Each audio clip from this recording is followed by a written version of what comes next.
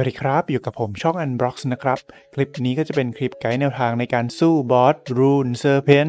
เจ้าบอสตัวนี้นั้นก็จะเป็นบอสที่อยู่ประจำ map เหมืองใต้ดิน Chasm นะครับ ซึ่งเพื่อนๆจำเป็นต้องทำ quest ไขผนึกซ่อนเร้นเจ็ดดารา เพื่อเปิด map ให้ได้ก่อนนะ ถึงจะตีบอสตัวนี้ได้ครับ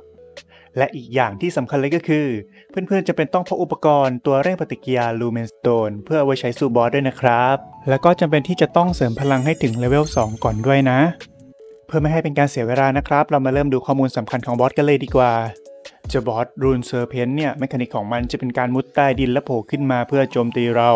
แต่ในตอนแรกเลยนะครับ บอสจะใช้ท่าเรียกกลุ่มก้อนตะกอนโคลนสีดำให้มาอยู่บนพื้นที่ต่อสู้ก่อนไอ้เจ้ากลุ่มก้อนตะกอนนั้นเนี่ยความสามารถของมันก็คือสามารถส่งพลังไปให้บอสได้ และถ้าเวลาที่เราไปเหยียบบนพื้นโคลนนั้นเนี่ยก็จะโดนลดพลังงาน Lumenstoneและลดเลือดเราได้ด้วยครับ ผมเลยบอกให้พกตัวเร่งปฏิกิริยา Lumenstone มาด้วย ก็เพราะว่าเราจะเอาไว้กดใช้เพื่อทำลายกลุ่มก้อนตะกอนนี้ได้ แบบนี้ครับ แล้วก็ถ้าเกิดพลังงาน Lumenstone หมดขึ้นมา เราก็จะสามารถเก็บเพิ่มได้จากการทำลายหินสีเหลืองอันนี้ โดยใช้การโจมตีธาตุหิน หรือการใช้ดาบใหญ่ก็จะสามารถทำลายได้ไวขึ้นนะครับ ต่อไปจะมาดูท่าโจมตีสำคัญของบอสนะ ก็ได้แก่ท่าพุ่งโจมตีท่ากลิ้งตัวท่าทรายดูด ท่าชาร์จพลังงานครับ มาเริ่มกันที่ท่าพุ่งโจมตี เราจะสังเกตได้จากจะมีลูกไฟพ่นออกมาจากหัวแบบนี้ก่อนที่บอสจะพุ่งชนเรา หลังจากนั้นบอสก็จะมุดดินหายไปแล้วใช้หางแทงขึ้นมาบนดินแบบนี้ครับ การหลบก็ไม่ยากให้แดชออกข้างๆ ตอนที่พุ่งมาหาเรา และก็ระวังช่วงที่พุ่งกลับขึ้นมาอย่าอยู่ใกล้หางเกินไปนะ หรือจะกดแดชหลบในจังหวะนี้ก็ได้ครับ ในตอนนี้บอสจะมีช่วงเวลานิ่ง ๆ ให้เราโจมตีได้อยู่ที่ประมาณ 5-7 วินาทีนะครับ ต่อไปท่ากลิ้งตัวจะเห็นว่าบอสจะยืดตัวขึ้นแบบนี้ก่อนที่จะลงมากลิ้งทับเราบนพื้น รัศมีการโจมตีจะอยู่ที่ประมาณ 90 องศาครับไม่กว้างมาก วิธีหลบ เราต้องเข้าไปยืนใกล้ ๆ บอสในจังหวะที่มันยืดตัวขึ้น แล้วก็แดชไปข้างหลังแบบนี้นะ ก็จะทำให้เรามีเวลาโจมตีบอสได้นานถึง 8-10 วินาทีเลยครับ แต่อย่าไปยืนใกล้มากนะครับ เดี๋ยวโดนโจมตีเอานะ ต่อไปก็คือท่าทรายดูด เราจะสังเกตได้จากบอสจะทำท่าหมุนตัวลงดินแบบนี้ แล้วหลังจากนั้นก็จะมีวงสีดำขึ้นมาที่พื้น วิธีหลบก็คือให้รีบวิ่งออกมาจากวง ซึ่งอาจจะโดน damage ได้บ้างนะครับ แต่ก็ไม่ค่อยแรงครับ เสร็จแล้วบอสก็จะกระโดดพุ่งลงดินครั้งหนึ่งก่อนที่จะโผล่ขึ้นมายืนนิ่งๆ ให้เราโจมตีได้นะครับ ต่อไปท่าชาร์จพลังงานนะครับ ให้เราสังเกตตัวหนังสือบนหน้าจอให้ดี มันจะขึ้นมาเพื่อให้เรารีบไปทำลายกลุ่มก้อนตะกอน ในช่วงนี้พลังป้องกันของบอสจะเยอะมากตีไม่ค่อยเข้านะ ผมแนะนำให้รีบไปทำลายก้อนตะกอนดีกว่าเพื่อให้บอสหยุดชะงักนะครับทำให้เรามีเวลาโจมตีบอสได้นานถึงเกือบ 15 วินาทีเลยครับ แต่ถ้าเราทำลายก้อนตะกอนไม่ทัน ในการใช้พลังงานครั้งแรก บอสมันจะปล่อยระเบิดติดตามออกมา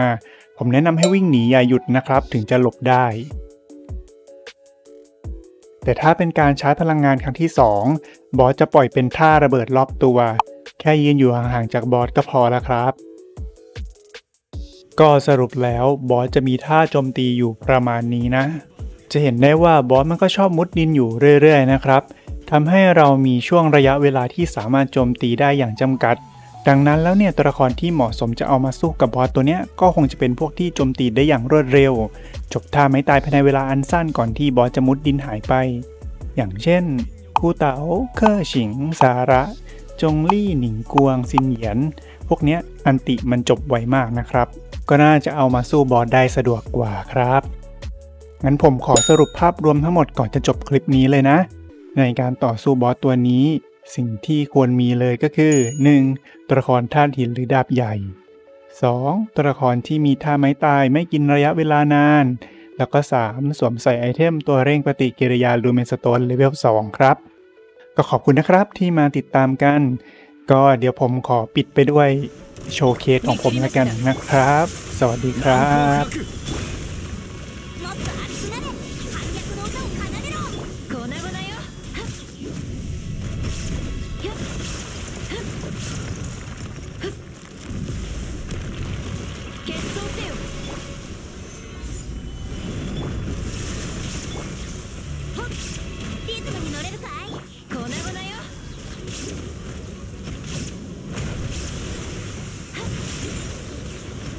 天理チョーク剣女盤石。逃げ道はあります。よっ。ほ決闘せよ。はい。やっ。ここより弱滅の時。はっやっ。はっふっそこ。剣女盤石